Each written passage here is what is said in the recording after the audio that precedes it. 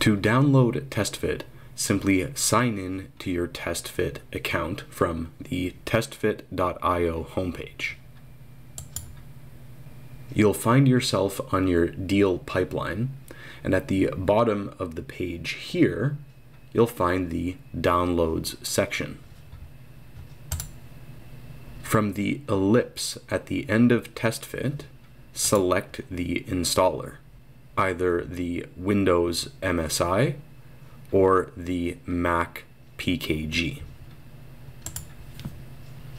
From this page, you can also download the TestFit for Revit add-in as well.